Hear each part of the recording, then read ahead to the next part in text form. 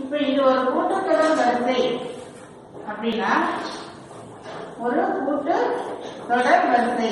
அதாவது AB arithmetic progression அப்படின்னா நமக்கு என்ன ஃபார்முலா தெரியும் two B equal to A plus C இது டைரக்டாகவும் சொல்லலாம். அல்லது C two minus C one equal to C three minus C two இந்த மைனஸ் இந்த பக்கம் வந்ததுன்னா என்ன ஆகும் பிளஸ் Plus பி B.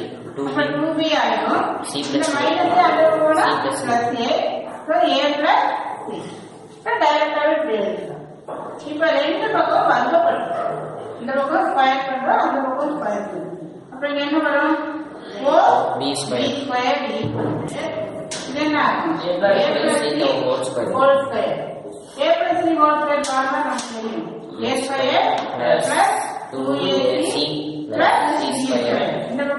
என்ன இருக்கு 4B square. Four B square நமக்கு கொஸ்டின்ல நமக்கு இந்த மைனஸ் வேணும்.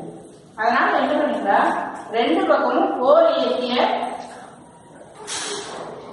கழிச்சுக்கலாம் ஃபோர் ஏ சி அப்ப இந்த இடத்துல A square plus two AC minus four AC. Plus C लेना नहीं गणित क्लास ये square minus two A C को ना minus two A minus two A C plus plus A square this is nothing but A minus C double square ಎಡ ಇಲ್ಲ ಒಂದು ಪುರಿದ ತೆಗೆದು ಪುರಿದ ಇದತ್ರ ಗೇನಿಂದ ಫೋರ್ ಕಾಮನ್ ಇರ್ತೀವಿ so four common ಇರ್ತೀನ B square minus K C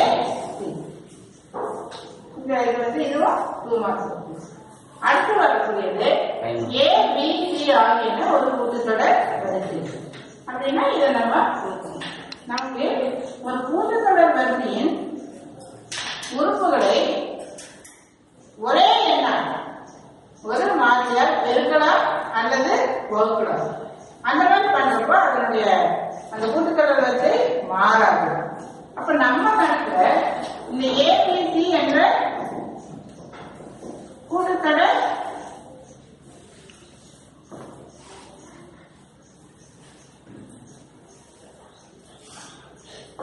இந்த வரிசையை நம்ம ஏபிசியாக வகுக்கணும் டிவைட் பை ஏபிசி இது ஃபுல்லாத்தையும் ஏபிசியாக வகுக்கணும் அப்ப நமக்கு என்ன வரும் A by ABC. ABC B by ABC then C by C ABC. By ABC ABC C by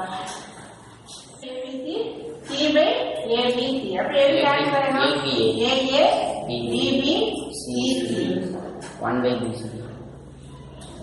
இது ஏபில இருக்கு அப்ப one by BC then one by AC then one by AB they are also in AP.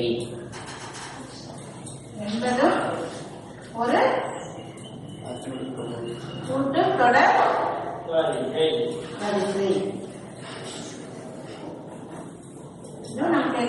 los